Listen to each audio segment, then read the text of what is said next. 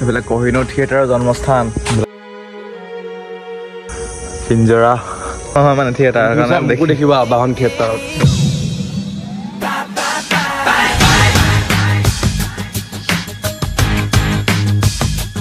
মই আজি ৰাতিপুৱা পাঁচটা বজাত উঠিলোঁ।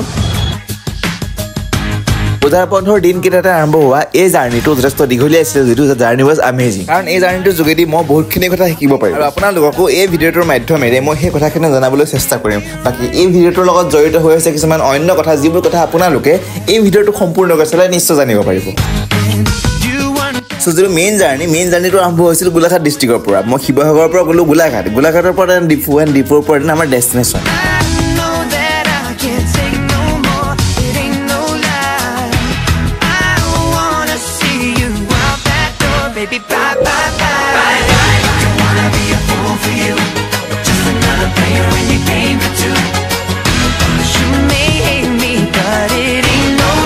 ফাইনেলি আমি পালোহি পাঠশালা।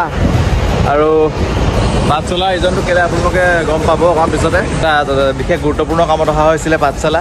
টাইম হৈছে প্ৰায় নটা তেত্ৰিছ নাইন থাৰ্টি থ্ৰী এতিয়া বৰ্তমান আমি যাম হোটেল। আৰু হোটেলত আজি ৰাতিটো কটাম। তাৰপিছত কাইলৈ যিটো অনুষ্ঠান আছে সেই অনুষ্ঠানটোৰ মানে অংশীদাৰ হ'ব লাগিব okay.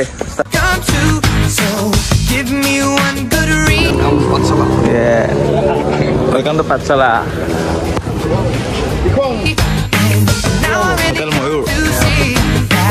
Iya,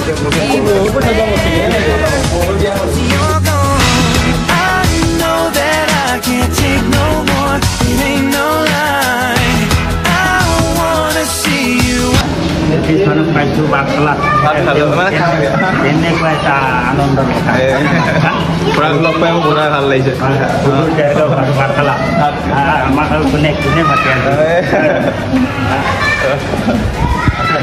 এবাৰ হিৰ' হিৰ' ফাইনেলি আমি পাই গ'লো পাঠশালা হোটেল।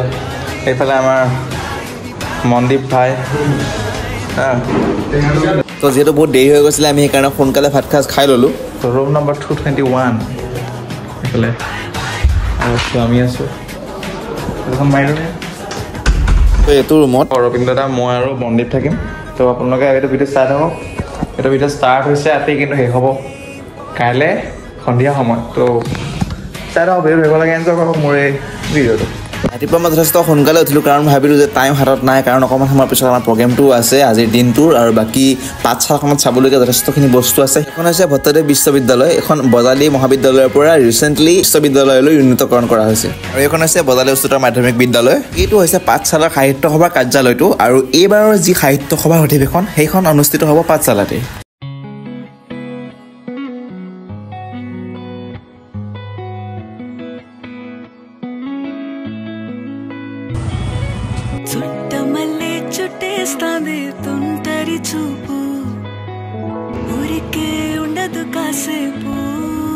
মই আজি ৰাতিপুৱা পাঁচটা বজাত উঠিলোঁ।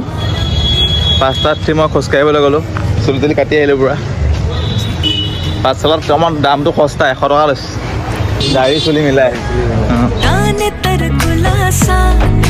বৰ্তমান আমি আছোঁ পাঠশালা টাউনত আৰু এইফালে আপোনালোকে দেখিছে।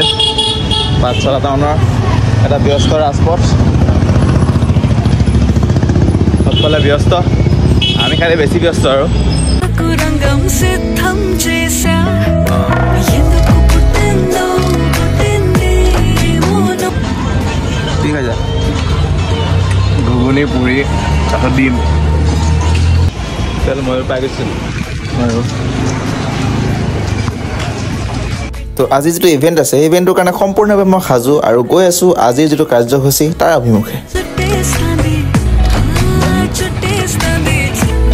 তো আজি ইভেন্টটো মানে আজি আছে আমাৰ অৰবিন্দ দা আৰু পংখী বাৰ। ইয়া দৰা ইয়া ইয়াৰ মাজত পূৰা ফটো বজাৰ ব্যস্ত এইফালে আছে মন্দিৰ। এইফালে জ্যোতিষ প্ৰিয় মানুহজন সকলোৰে।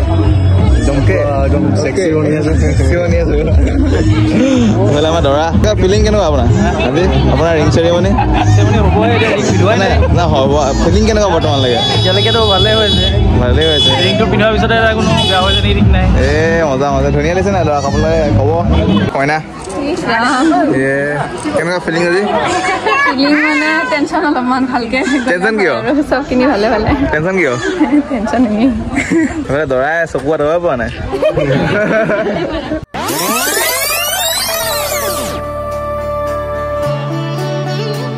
मन खाए हिचकोले दिल की शहनाई हौले हौले मध्यम सुर में नाम तेरा बोले है शोर ख्याली हल्ला गुल्ला इश्क मिसाली खुल्लम खुल्ला। आराध्या आराध्या, मेरी थी मेरी रहेगी Aaradhya.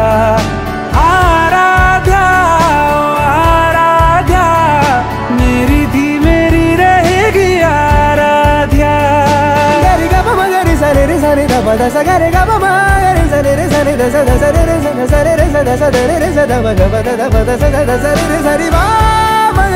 bagare ga ba da da ba sa da re sa ga re ba ga da ba ga re sa da ba ga re ga ba ba ga re ga da da ba re ga sa sa da ba ga re sa re ga ba da sa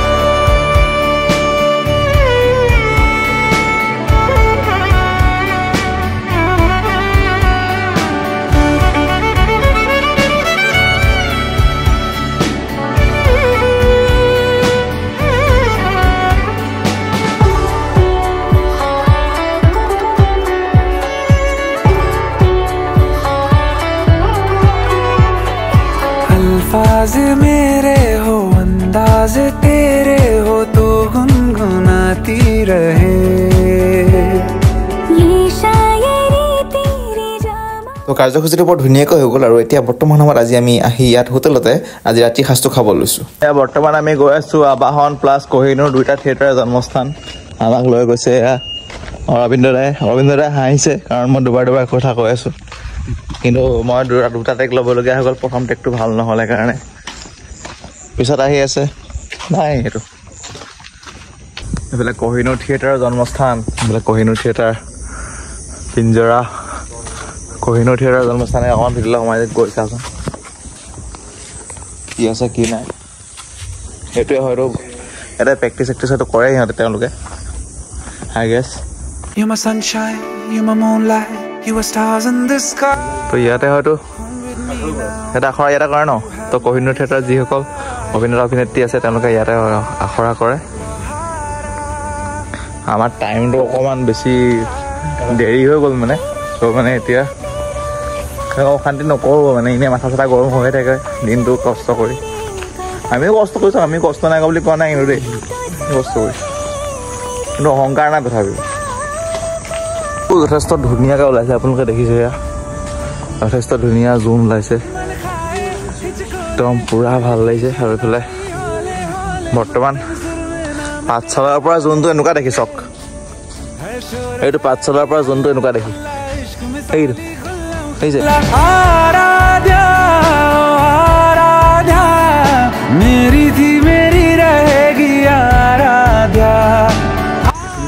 এইফালে আমি আবাহন theatre বৰ্তমান পাইছোঁহি।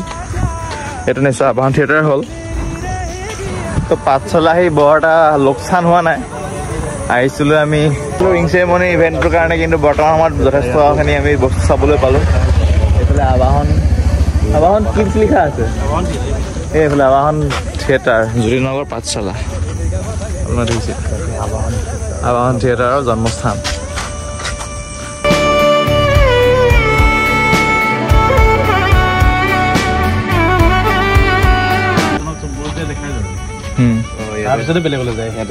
মানে পাঠশালা মানুহখিনিৰ সৌভাগ্য মানে।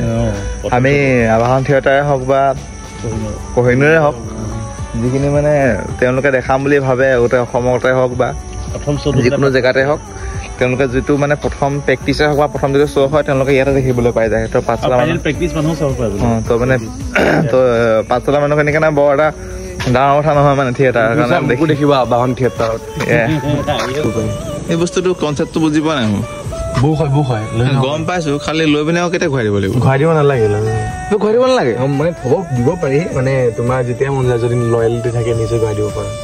যদি loyalty নাই আৰু তো বজালী জিলা আৰক্ষী প্ৰশাসনৰ সহযোগত এই বস্তুটো ভাল লাগিছে পদক্ষেপটো। ইয়াত কিতাপ থৈ দিয়া আছে। ইয়াত কিতাপ থৈ দিয়া আছে। হয়তো মানুহে পঢ়ি পেলাই পঢ়িবলৈ মন গ'লে পঢ়িব পাৰিব। আহি আকৌ কিন্তু পুনৰ ঘূৰাই দিব লাগিব। মোৰ মতে কনচেপ্টটো সেইটো চাগে ন? সেইটোৱে কাৰণ যিয়ে কিতাপ পঢ়ি ভাল পায় অঁ যিয়ে কিতাপ পঢ়ি ভাল পায় তেওঁলোকৰ সেই ৰেচপনচিবিলিটিটো আছে যে তেওঁলোকে কিতাপ এখন যাৰ পৰা লয় তাত থৈ পিনি থৈ দিবহি মানে কিতাপখন। সেই ৰেচপনচিবিলিটিটো আছে মোৰ মতে। তো এই কনচেপ্টটো মোৰ ভাল লাগিলে। চাওক এইটো প্ৰত্যেকটো এলেকাতে এনেকুৱা এটা কনচেপ্ট হ'ব লাগে।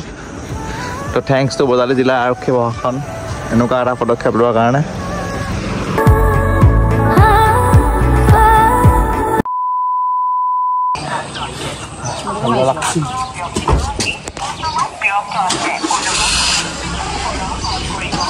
গ'ল আৰু দেই গাইছ